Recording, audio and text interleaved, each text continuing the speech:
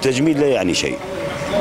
التجميد يعني إخلاء مسؤولية الاحتلال آه، ويصير تحت مسؤولية المستشفى. خليل بيطلب الحرية.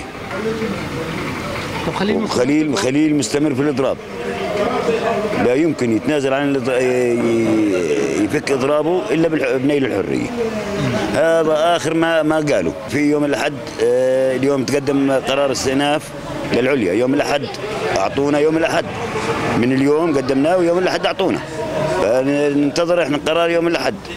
خليل مستمر في الإضراب للأحد أو فيما بعد الأحد كمان.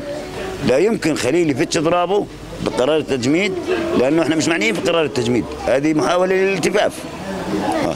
إحنا معنيين بالحرية وخليل معني بالحرية أي لحظة خليل باخذ الحرية بفتش إضرابه